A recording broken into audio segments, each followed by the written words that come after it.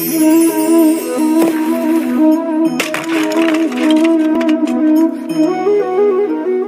क्या हुआ? मुझे ठोकर लगते ही ये हाथ से छूटकर गिर क्यों गया? टूट क्यों गया? अब आप कहेंगे ये तो ऐसा ही होता है। इस जीवन में, इस संसार में ठोकर लगने के पश्चात हमारे हाथ जो भी होता है, वो छूट जाता है। जो बनता है, वो टूट ही जाता है। किंतु क्या ये सत्य है? आपको एक बात बता देता ठोकर खाकर गिरने के पश्चात संसार की कोई भी वस्तु भले हाथ से छूट जाए, सफलता अवश्य आती। चाहे कितनी भी बुरी तरीके से आप गिरे हो, ठोकर खाई हो, भविष्य अवश्य बनता है। क्योंकि ये ठोकर असफलता ये कठिनाई ये हमें ऐसे निखारती है जैसे अग्नि स्वर्ण को। इसलिए जीवन में केवल आगे बढ़ते जाए दृढ़ निश्चय के साथ बढ़ते जाए और ठोकर खाकर गिरने से कभी भयभीत मत होइए, क्योंकि ये आने वाली सफलता का संकेत और सफलता तभी मिलेगी जब आप गिरोगे, जब आप पुनः उठोगे और जब आप पुनः जीवन में आगे बढ़ोगे। राधे। प्रेम घृणा। दोनों समान शब्द कैसे? देखिए ना, दोनों में ढाई अक्षर हैं। दोनों वो भाव है जो हमारे मन से जुड़े हैं।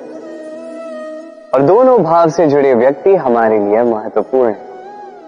अंतर बस इतना है कि प्रेम को मिलता है सम्मान और घृणा को मिलती है उपेक्षा। ऐसा क्यों? क्योंकि प्रेम वो भाव है जहाँ व्यक्ति सब कुछ दे देना चाहता है, सब कुछ हार जाना चाहता है। वही घृणा ऐसा भाव है जहाँ व्यक्ति सब कुछ पा लेना चाहता है, सब कुछ जीतना चाहता है।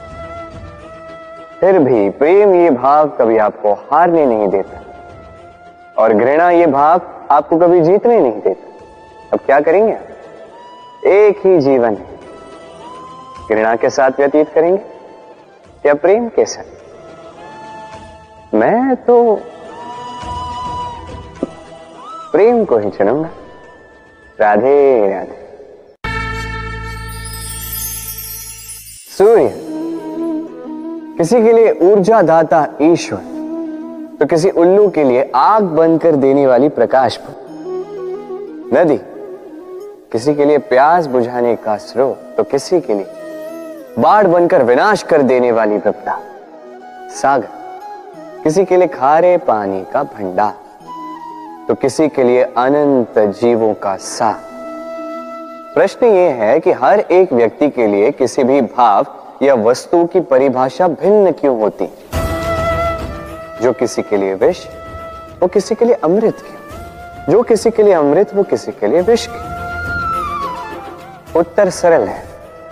हम वस्तुओं को या भावों को वैसे नहीं देखते जैसे वो होते हैं। हम वस्तुओं को या भाव को वैसे देखते हैं जैसे हम होते हैं। अब इसका निवारण क्या?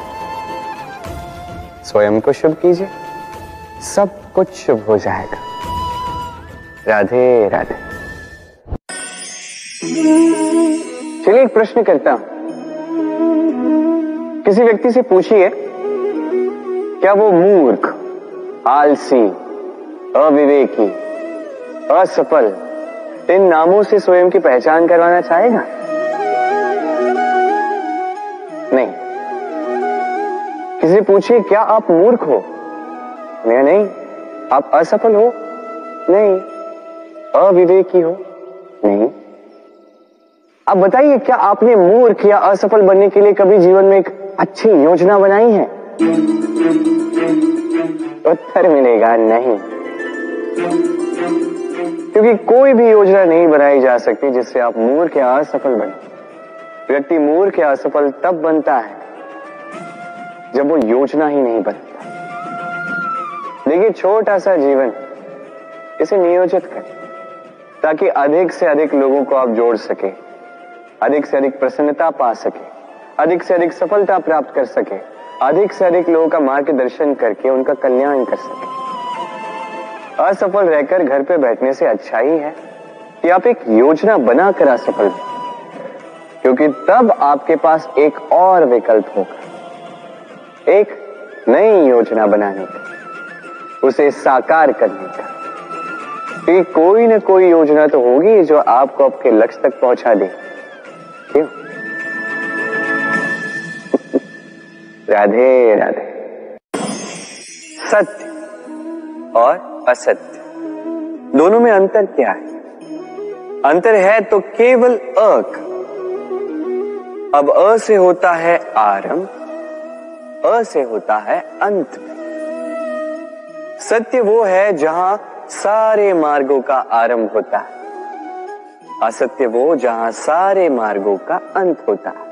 अब इनके पाव तो नहीं होते। किंतु फिर भी ये निशान छोड़ ही जाते हैं। सत्य वो निशान छोड़ता है जो एक उत्तम उज्जवल उदाहरण बनता है। और असत्य वो उदाहरण छोड़ता है जो एक कलंकित इतिहास बन जाता है। अब आप आप आने वाले समय के लिए कौन सा निशान छोड़ेंगे? निर्णय पूर्णतः आपका है। राधे राधे। कभी आपने सोचा है हमें जीवा के साथ साथ कान क्यों मिले? अब आप कहेंगे, सरल सी बात है, ताकि हम बात करने के साथ ही सुनना भी सीख लें। अब इसका एक और तात्पर्य है। पहले मुझे बताइए, स्वयं की प्रशंसा सुनना किस किस को अच्छा लगता है? सभी को अच्छा लगता है। अब यही है सा यदि इन कानों से आप स्वयं की प्रशंसा सुनना चाहते हैं तो सर्वप्रथम इस जीवा से दूसरों की प्रशंसा करना सीखें। अब प्रशंसा के विषय में एक अत्यंत महत्वपूर्ण बात आपको बता देता हूँ। कभी किसी की प्रशंसा यदि आप करते हैं तो सर्वप्रथम उस व्यक्ति का उत्साह बढ़ जाता है। तत्पश्चात स्वयं यदि झाँक कर देखें तो इस मन में भी संतोष और प्रसन्नता आ जाती है। और एक बार ये मन प्रसन्नता से भर जाए, तत्पश्चात कोई प्रशंसा करे या ना करे। कोई अंतर नहीं पड़ता। इसलिए सदैव दूसरों का मान करें, आदर करें, उनकी प्रशंसा करें, प्रसन्नता बांटें। जिनमें जो भी अच्छाइयाँ हैं, उन्हें बताएँ। उन्हें स्मरण करवाएँ कि वो भी अच्छे हैं।